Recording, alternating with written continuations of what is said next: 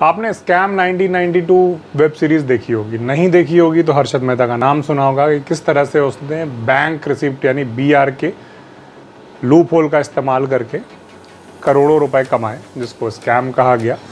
कुछ कुछ ऐसा ही लूप होल ढूंढ कर हमारे जो बाबा रामदेव हैं, योग गुरु रामदेव, लाला रामदेव भी बोलते हैं कुछ लोग उनको उन्होंने भी कई हज़ार करोड़ रुपए कमाए। क्या था वो सीक्रेट फार्मूला क्या है उनका तरीका जिसके बिना पैसा लगाए दो साल में आप हज़ारों करोड़ रुपए कमा सकते हैं? आज हम इसी पे बात करने वाले हैं। हम देख रहे हैं इंडियन पॉपुलर कोड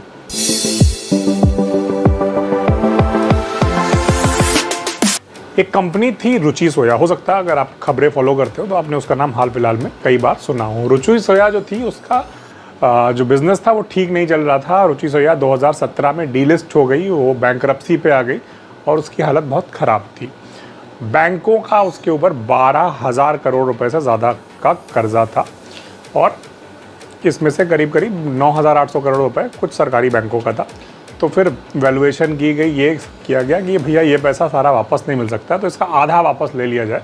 तो तैंतालीस सौ करोड़ रुपए पे बात की गई कि भाई तैंतालीस सौ करोड़ रुपए में ये कंपनी बेच दी जाए, जो इसको खरीदे, वो इसको चलाए, इसके टुकड़े करे, जो भी करे, इसकी संपत्तियाँ बेचे और हमें पैसा वापस दे। अब इस रुचि सया को खरीदने में दो कंपनियों ने बोली लगाई, अडानी विल्मर, जो फॉर्च्यून तेल बनाती है, और दूसरी पतंजलि।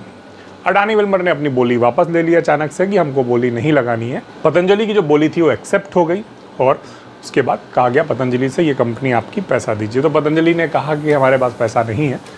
जिन बैंकों का पैसा डूबा था, उन्हीं बैंकों से पतंजलि ने लोन लिया। उस कंपनी को ख़रीदने के लिए जो बैंक बेच रहे थे। यानी मेरे पास एक सामान है, मैं कहता हूँ, मैं इसे बेचूँगा सौ रुपये का। एक उदाहरण से समझते हैं। सामने वाला आदमी कहता है, मुझे सौ रुपये में बेच दीजिए, मैं उसको सामान देता हूँ। अब वो कहता है, मेरे पास सौ रुपये तो है नहीं। तो मैं ही उसको सौ रुपये उधार देता हूँ और वो सौ रुपये मुझे वापस देगा। लेकिन पतंजलि ने अभी पैसे वापस नहीं दिए। उन्होंने बत्तीस सौ करोड़ रुपये उन बैंकों से लोन लिया जबकि पतंजलि की जो लोन की क्षमता थी, उससे ये लोन बहुत ज़्यादा था। मतलब पतंजलि को इतना लोन नहीं मिल सकता था।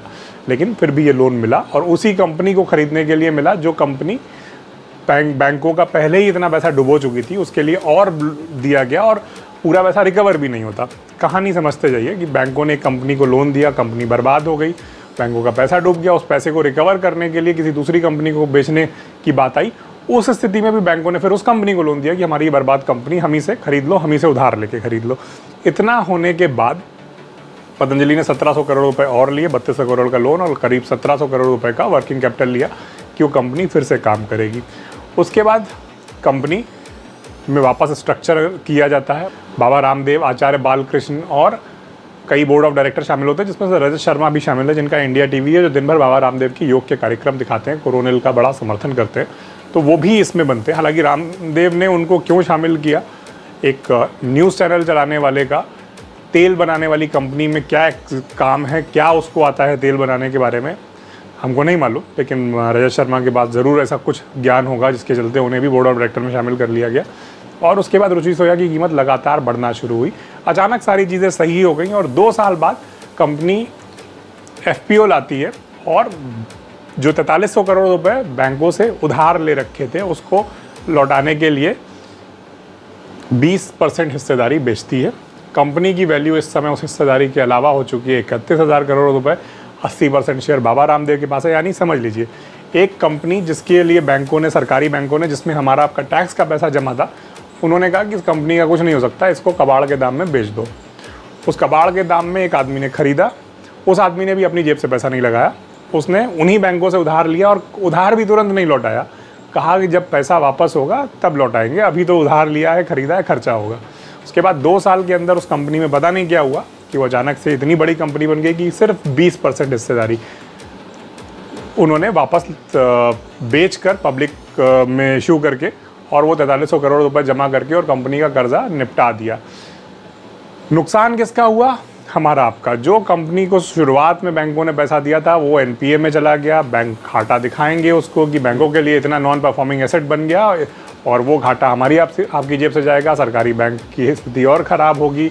हम और आप लाख, दो लाख का लोन लेने जाते हैं तो उसकी भी वसूली होती है। आजकल तो हो गया कि वसूली नहीं कर पाएँगे, आप पैसा नहीं चुका पाएँगे तो बुलडोज़र भी चल जाएगा, वो सारी चीज़ें होती हैं। लेकिन जब आप इतने हज़ार करोड़ का लोन मांगते हैं तो बैंक आपको लोन भी देती है, कंपनी भी देती है साथ में लोन के साथ साथ कि इसको चला लो।